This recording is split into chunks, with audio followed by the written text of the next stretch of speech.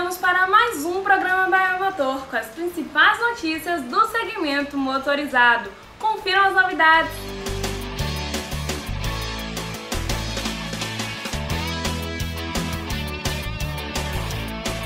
Ford anuncia a chegada do SUV Bronco Sport ao Brasil. Lulink é a nova novidade da Hyundai para o carro conectado. Renault Zoe E-Tech chega ao Brasil em duas versões. Fábrica de Pacheco, na Argentina, começa a produzir o Volkswagen Taos. Chega ao mercado a nova versão do Jeep Compass. E Stock Car começa a temporada 2021 com tudo.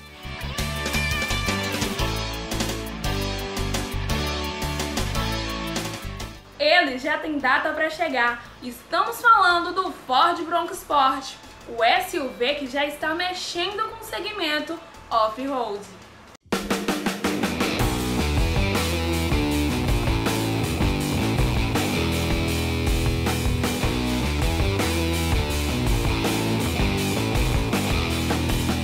A Ford confirmou o lançamento do Bronco Sport como novo produto do seu portfólio no Brasil com data de estreia programada para 20 de maio. A marca destacou que o Bronco Sport é um produto desenvolvido com foco nos pilares de design, desempenho, versatilidade, conectividade e segurança.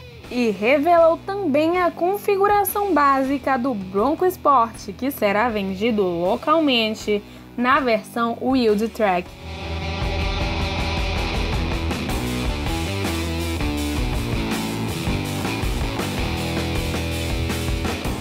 além de motor 2.0 EcoBoost, transmissão automática de 8 velocidades e tração 4x4 de série, o SUV virá equipado com um sistema para ajustar automaticamente os parâmetros do veículo para cada condição de pista. O sistema conta com sete modelos de direção: normal, eco, esportivo, escorregadio, areia, lama e rock crown, rocha, selecionados por meio de um botão no painel.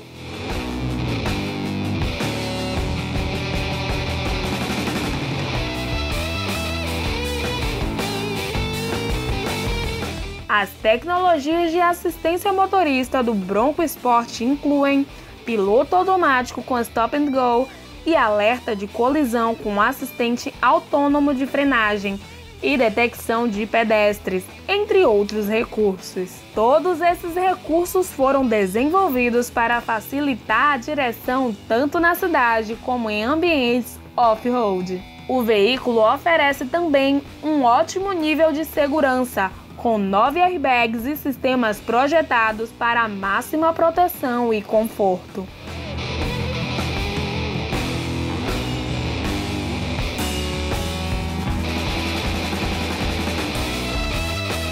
O Bronco Sport traz ainda recursos de conectividade de nova geração com o aplicativo Ford Pass e soluções inteligentes de conveniência, como abertura independente do vidro traseiro e porta-malas com sistema de gerenciamento de carga. O Ford Bronco de nova geração é inspirado no utilitário que foi produzido durante três décadas nos Estados Unidos de 1966 a 1996 e tornou-se o ícone 4x4.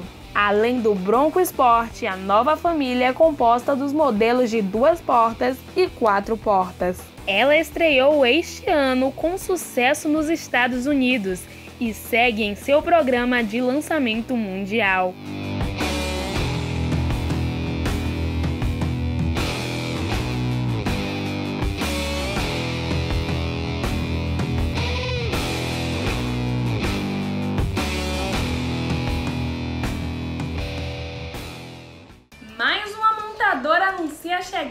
Carro conectado. Dessa vez foi a Hyundai que lançou essa semana o Blue Link. Confira! A Hyundai Motor Brasil HMB anunciou essa semana a chegada do sistema de carro conectado no país. O sistema da Hyundai, o BlueLink, é o conceito global do veículo conectado da marca, que combina com um único pacote tecnologias que proporcionam mais conforto, segurança e conveniência aos condutores. A novidade estará disponível inicialmente nos modelos 2022 do HB20. A mesma solução tecnológica já consolidada em mercados tradicionais da Hyundai chega agora ao Brasil com foco em cinco grupos de serviço: segurança e assistência ao motorista, prevenção ao roubo, conveniências, alertas e cuidados com o carro. Os consumidores brasileiros poderão desfrutar deste pacote de maneira gratuita nos seis primeiros meses de uso. Após o período, os serviços Blue Link para HB20 terão mensalidades cobradas para que o motorista tenha acesso a todas as funcionalidades. A tecnologia dos serviços de conectividade veicular do Hyundai Blue Link traz uma série de recursos para melhorar a experiência de condução e proporcionar maior tranquilidade para o motorista. O Blue Link oferece uma variedade de funcionalidades de conectividade úteis para ajudar os condutores em suas rotinas diárias de deslocamento. Em segurança e assistência ao motorista estão disponíveis a notificação automática de colisão e a assistência 24 horas. A primeira delas envia um sinal automático à central SOS Blue Link quando os airbags do veículo são acionados.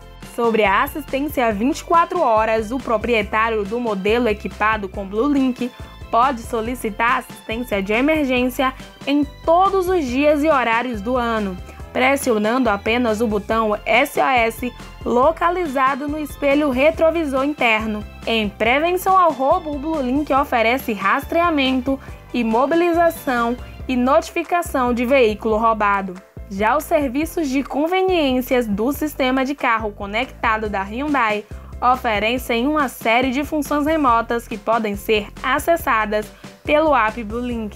Entre os destaques estão o acionamento do motor à distância através da função partida remota do motor, que permite climatizar a cabine com ar condicionado. Ainda é possível travar ou destravar todas as portas, abrir e fechar janelas, acionar pisca-alerta e alarme. Ainda na função Conveniências está disponível o Find My Car, que permite a localização do veículo em todo o território nacional.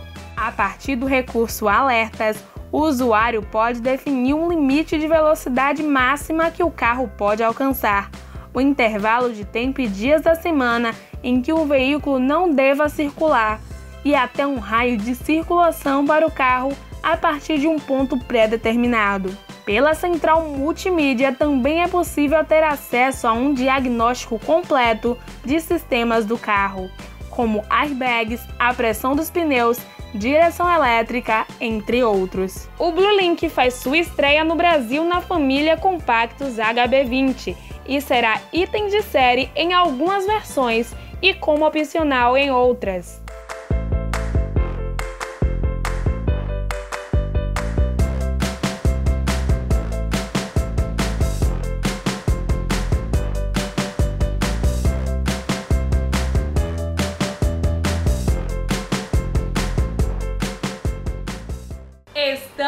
Volta com o programa Bahia Motor. O elétrico Renault Zoe E-Tech chega ao Brasil com duas versões de acabamento. Vamos conferir?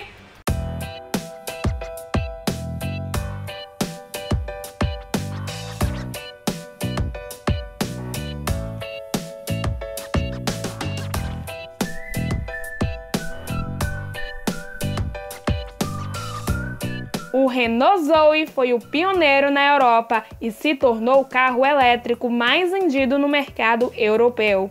Agora, na terceira geração, o novo Zoe E-Tech assume uma dimensão mais ampla em matéria de versatilidade, qualidade e tecnologias. O modelo começa a ser vendido no Brasil em duas versões de acabamento, Zen e Intense em um mercado elétrico em forte crescimento, a Renault confirmou sua liderança na Europa, com alta de 101,4% em comparação com 2019, dobrando as vendas de veículos elétricos.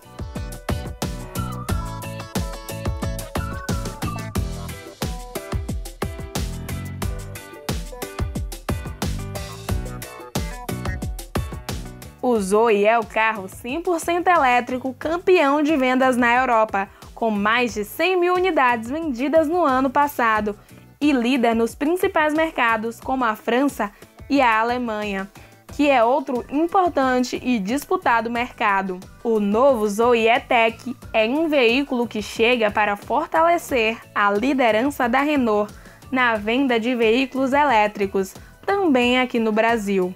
Do lado de fora, o novo Zoe E-Tech afirma sua personalidade sem renunciar à sua agilidade característica.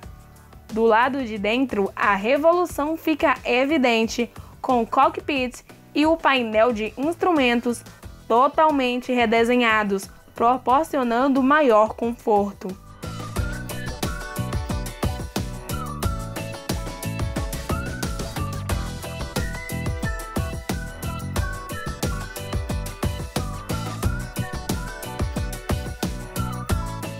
Tecnicamente, o novo Zoe E-Tech oferece ainda mais liberdade. A bateria de 52 kWh fez sua autonomia chegar a 385 km, com ainda mais opções de recarga, graças à introdução do sistema de carga em corrente contínua.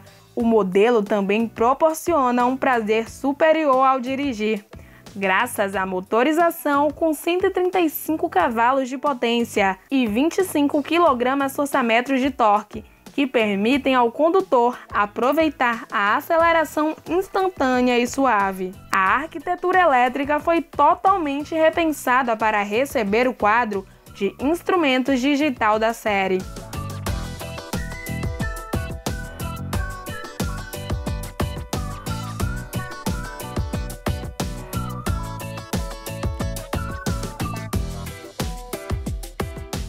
A iluminação agora é Full LED em todas as versões, oferecendo assim uma luminosidade 75% mais potente em comparação com as lâmpadas halógenas com um consumo energético mínimo. O novo Zoyatec 100% elétrico não gera nenhuma emissão na utilização, mas a redução de seu impacto no meio ambiente não para por aí. Entre outros diferenciais, ela integra materiais sintéticos 100% provenientes da reciclagem, inclusive nas partes visíveis do interior, como revestimentos criados de acordo com o conceito da economia circular e as peças em polipropileno reciclado.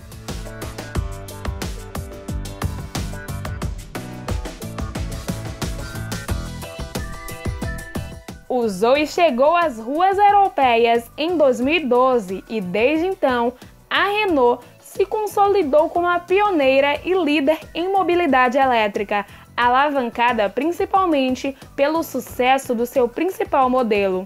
O Zoe foi lançado no Brasil para o consumidor final no Salão do Automóvel de 2018 de forma inovadora. Além da opção de aquisição online, o novo Zoe E-Tech está à venda em 16 concessionárias de 12 cidades: São Paulo, Campinas, Rio de Janeiro, Belo Horizonte, Divinópolis, Curitiba, São José dos Pinhais, Porto Alegre, Chapecó, Fortaleza, Recife e Brasília. Desde 2013, o elétrico mais vendido da Europa já estava disponível no mercado brasileiro, mas somente para empresas envolvidas em projetos de mobilidade sustentável. O novo Zoitec também passa a fazer parte do catálogo de produtos do Renault On Demand, o serviço de assinatura da marca, lançado em janeiro e que faz parte da estratégia de mobilidade urbana e compartilhada Mobilize.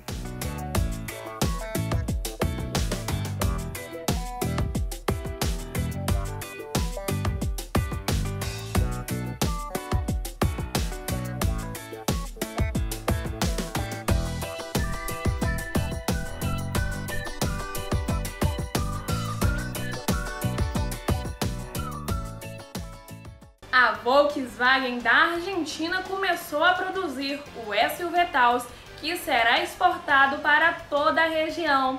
Vejam os detalhes.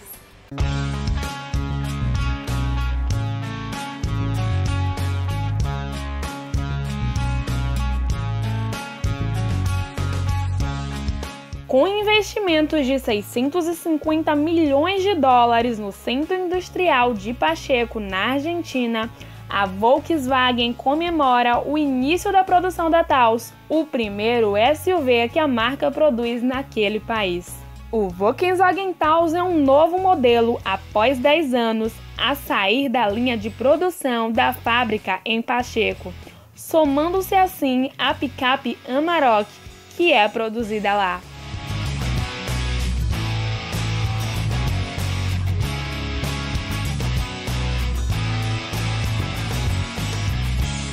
O Taos é o primeiro SUV que a marca produz na Argentina e será exportado para toda a região. O investimento de 650 milhões de dólares para o Centro Industrial de Pacheco teve como objetivo modernizar a tecnologia e a infraestrutura de suas fábricas de produção, a implementação da nova plataforma global MQBA e uma nova fábrica de tintas.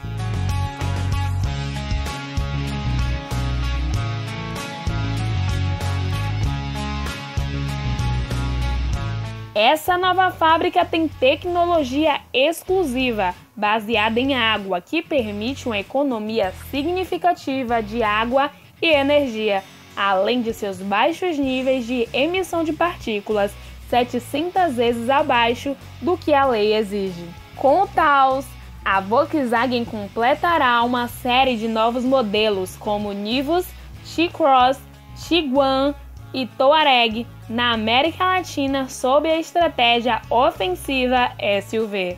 Com essa nova estratégia modular, a empresa garante a sustentabilidade do negócio no país, podendo incorporar mais modelos à fabricação local no futuro.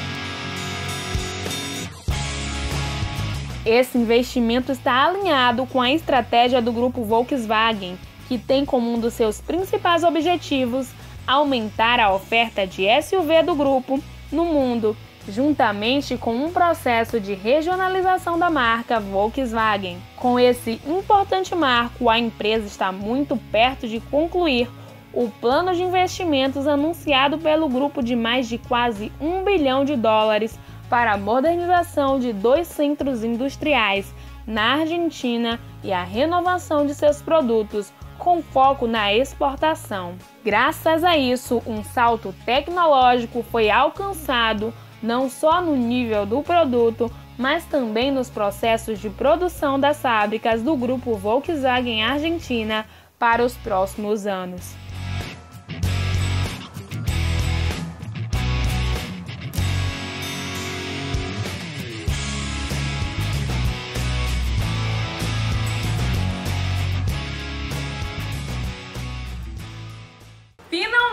Terminou o segredo, chega ao mercado a nova versão do Jeep Compass, com as novas versões e o motor Turbo Flex mais moderno e mais potente, vai ser difícil perder a liderança.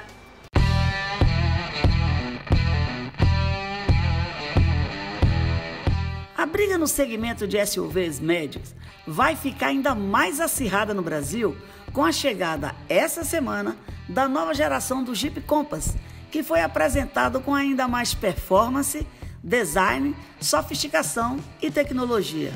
Líder do seu segmento com cerca de 70% do mercado, o utilitário esportivo da Jeep completa oito décadas desde que nasceu nos Estados Unidos. Em sua nova geração, o SUV médio da Jeep amplia a sua gama de versões com duas novidades: a série especial 80 anos e a já conhecida série S que agora recebe o novo motor T270 Turbo Flex. No total, são nove versões do novo Compass, com duas possibilidades de motorização e dois câmbios. Com maior torque e maior potência entre os propulsores flex produzidos no Brasil, O T270 estreia na gama Jeep do novo Compass, sempre integrado ao câmbio automático de 6 velocidades. Com potência máxima de 185 cavalos a 5.750 RPM e torque máximo de 270 Nm a 1.750 RPM por minuto, o propulsor faz de 0 a 100 km por hora em apenas 8,8 segundos e tem nota A de consumo pelo Inmetro. A série especial também está disponível com propulsor flex ou diesel. E em relação à versão anterior, o modelo traz de série o novo carregador sem fio para celulares, o Adventure Intelligence Plus na central multimídia, retrovisores externos com rebatimento automático, partida remota e Park Assist. O Jeep Compass 80 anos conta ainda exclusivamente com acabamento externo escurecido em tom grafite, interior em black piano, revestimento interno do teto na cor preta e costuras exclusivas. Já a versão S é a versão mais premium do novo Compass e, portanto, não possui equipamentos opcionais. A versão traz de série, além dos itens da versão Limited, teto solar elétrico e panorâmico, forro do teto em preto e pintura das partes plásticas na cor da carroceria. A série S traz os novos itens de direção autônoma, como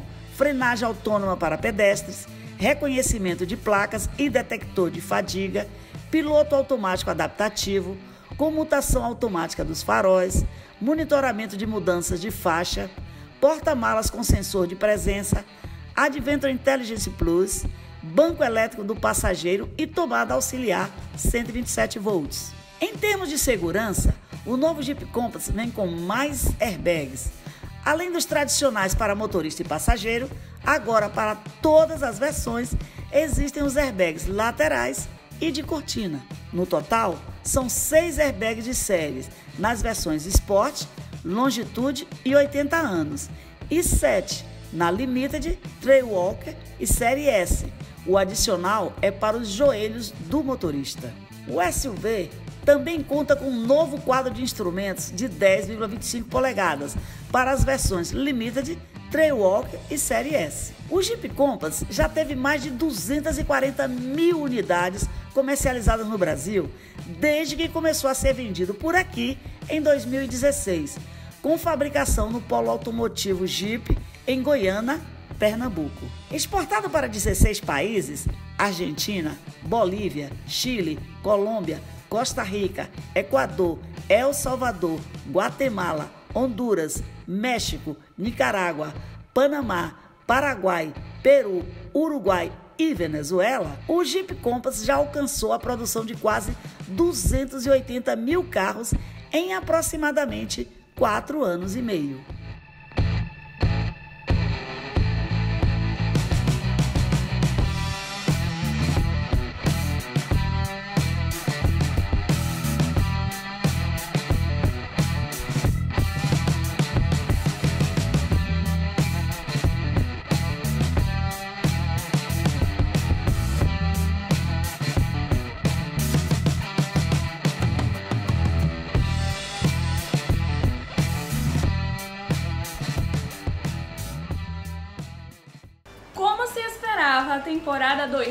2021 da Stock Car começou com muitas novidades, disputas alucinantes, punições e um show de pilotagem. Confira!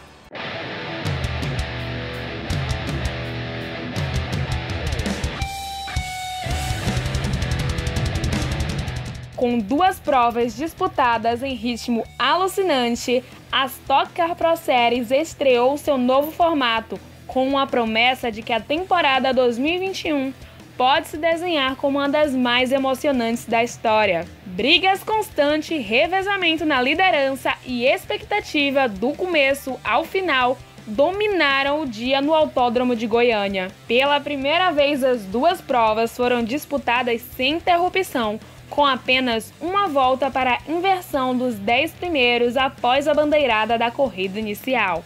A equipe Eurofarma RC com Daniel Serra e Ricardo Maurício venceu as duas provas válidas pela primeira etapa da Stock Car Pro Series no domingo. O destaque foi a performance impecável de Daniel Serra, que venceu a primeira prova e saiu da pista como o maior pontuador da etapa. Serra largou em segundo e já na primeira volta tomou a ponta do pole position Kaká Bueno, mas chegou a perder a dianteira para Ricardo Maurício logo após o pit stop.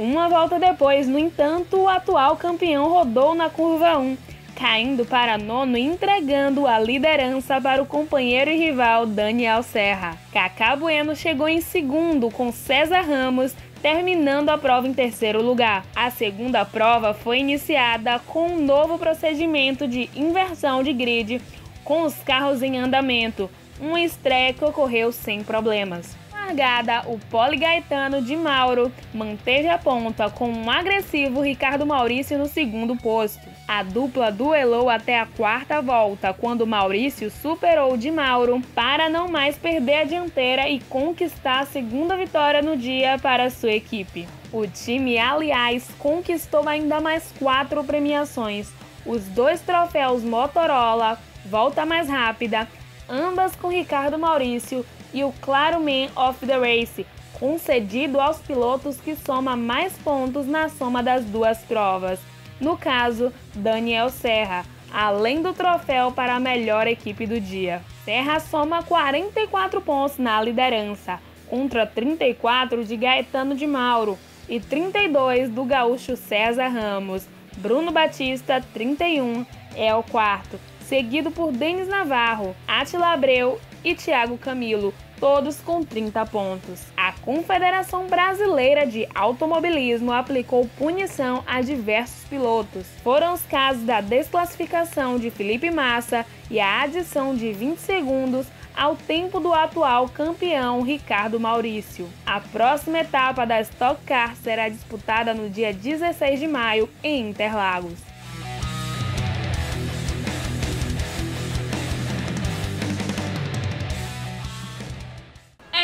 Aí, o programa Vai a Motor fica por aqui, mas temos um encontro no próximo sábado, no mesmo dia e horário. Tchau, tchau!